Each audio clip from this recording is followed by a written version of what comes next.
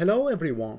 Today we will briefly take a look at the macOS Sonoma 14.6 update, what's new and how to install it. I will install the latest update on my MacBook Pro M1, guide you through the update process step by step and inform you if I encounter any issues. On July 29, 2024, Apple released macOS Sonoma version 14.6 with an update size of 2.19 gigabyte.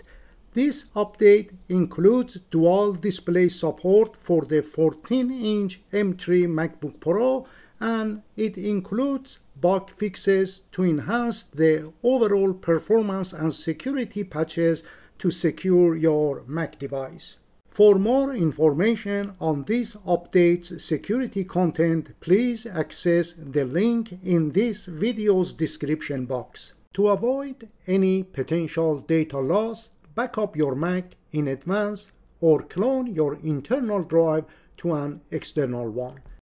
To update your system, click the Apple menu and select System Settings. Then General, Software Update, More Info, and click Update Now. Next, agree to the terms.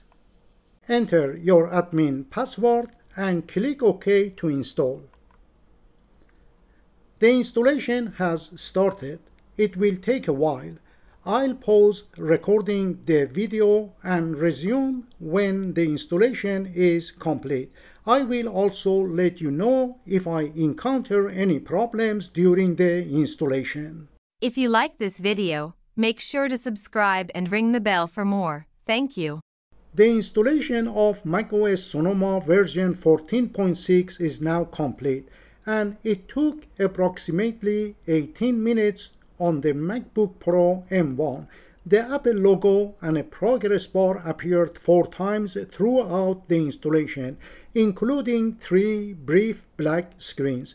I didn't face any issues during the installation process and I can now run macOS Sonoma 14.6 on my M1 MacBook Pro. If you are considering upgrading to macOS Sonoma, check out my step-by-step -step tutorials on how to clean install it without a USB installer and how to install the final version of macOS 14 Sonoma.